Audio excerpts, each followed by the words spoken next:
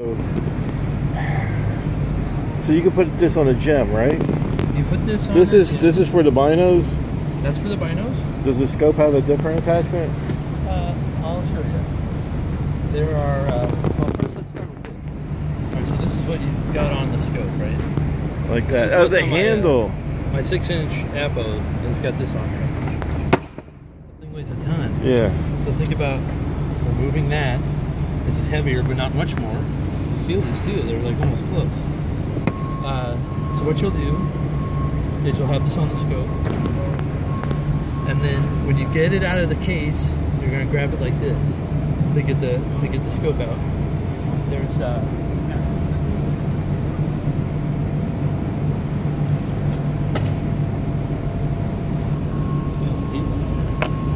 uh, so these will be in here. You simply slide right in. Yeah. You can do these with gloves, no problem. So uh, the telescope is in the case. Yep. You'll grab the scope. You'll Yep. pick it up. You'll put your hand in there. And you're going to be able to hold it like this and one hand underneath. Uh, to mount the scope. To get you in the perfect fulcrum point so where you're not going to have too much weight. yeah. 30 pound scope's not going to feel like anything. And if you think about it, it's the biggest drawback. It's the picking up the It's egg. the biggest drawback in astronomy besides pollution, light pollution. Because people want to observe. If they don't have an observatory, they're going to have to set the thing up. Yeah, They- all the time. They cringe about having to set the thing up. At least, at least have it easier to at least get the thing out of the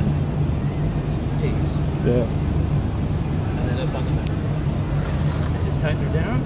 You're good to go. While it's up there, you'll just remove these. Come right out.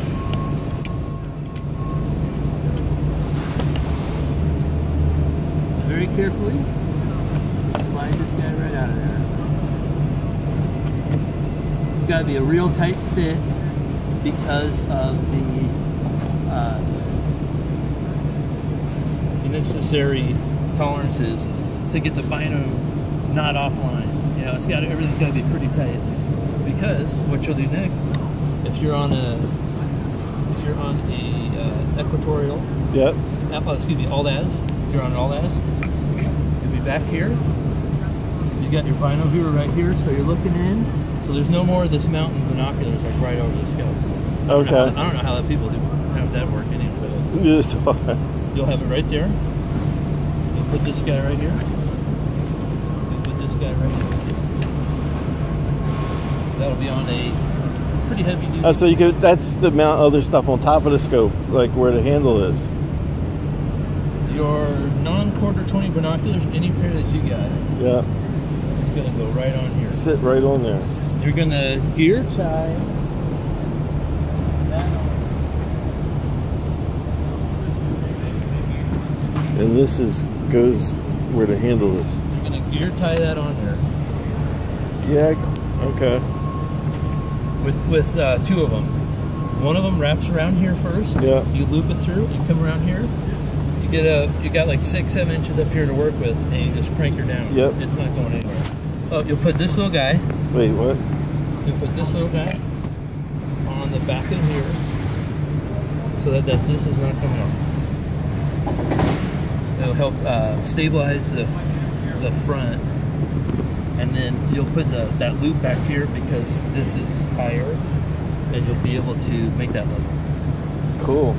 Thanks so much. Daniel. Uh, thanks for the demonstration. Well, I'm not. This is just getting going. So you'll flip this over. Now you're putting some 1570s in there through the quarter 20 hole.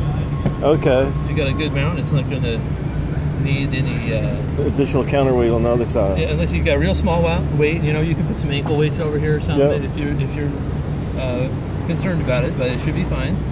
And you just mount it right there. You take your knob that's on the front. That was on the front right here. You're gonna take your knob. Yep. You're gonna put that right through there, and you're just gonna put your seven.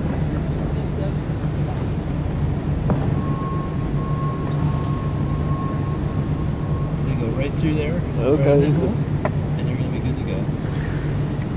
Cool. So That's you're, you're gonna be able and you don't need a with the binoculars that heavy. You don't need a counterweight on that side with this mounted to the with this mounted to the scope. uh, not so much.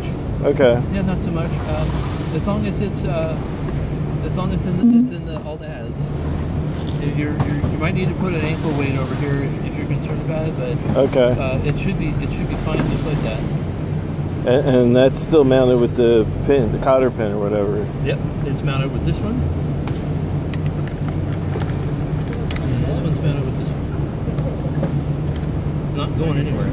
There's Yeah, I a, see that. There's a little press fit in here. And that, no tool is required. You just press that right in. And you're good to go for that one. For the Is there any other additional? We are just beginning to talk about this now. Oh, really? What I'm going to do, I've to avoid going crazy showing everyone how this works. Yeah. I better do a good demonstration for like everybody every half hour maybe. I don't know. Not sure what to do yet. But it does a lot of things. We are changing the way we mount a telescope forever. We are changing the way we observe forever by using comparative observation, by looking through the binoculars. You're getting the essence of the in, of the uh, target of the object, and then you're able to go instantly to the telescopic image to study details. And by using both of those at almost the same time, your brain loves that context that it has to work with, where it's trying to find what's in each one. Yes. When you try to find what's in each one, subconsciously, when you find it, details are just going to start popping out more than usual. And that's how it goes. Cool. There you got it. Thanks. Uh, hey, you're welcome, Daniel. So let's go with, let's go with, for the first time ever, the German equatorial.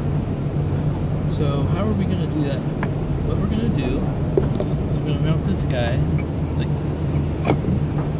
This is either going to sit like that, yep.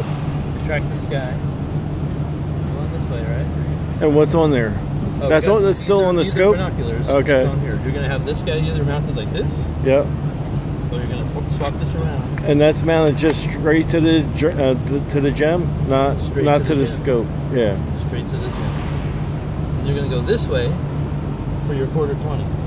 Oh, for the. You're gonna mount this guy right there like that. All you need to do, And that mounts right to the gem. Mounts you right can put a dove, dovetail on that. Yeah. yep, and you'll just extend your counterweights. Or Yeah. maybe buy an extra one if you start mounting this guy on a small mount. Okay. Buy an extra counterweight, and then it'll it'll get over there.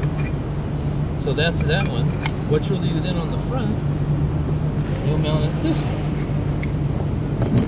Now you got one going this way. You got one going this way. You have a matrix of different positions. so now this way, you've got your 1570s in there. You've got your phone mounted up here.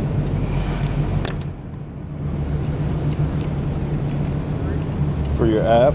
for your app. You open your Sky Safari. You got your binoculars ready to go here.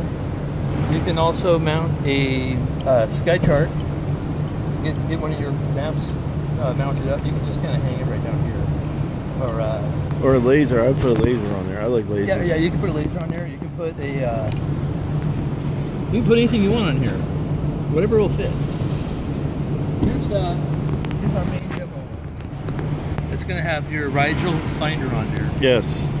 If you got a big enough scope, uh, I've got a six inch refractor. I have the Telrad base like right back here. Yeah. Okay. So I don't really use this, but I just put this on here for people with smaller scopes.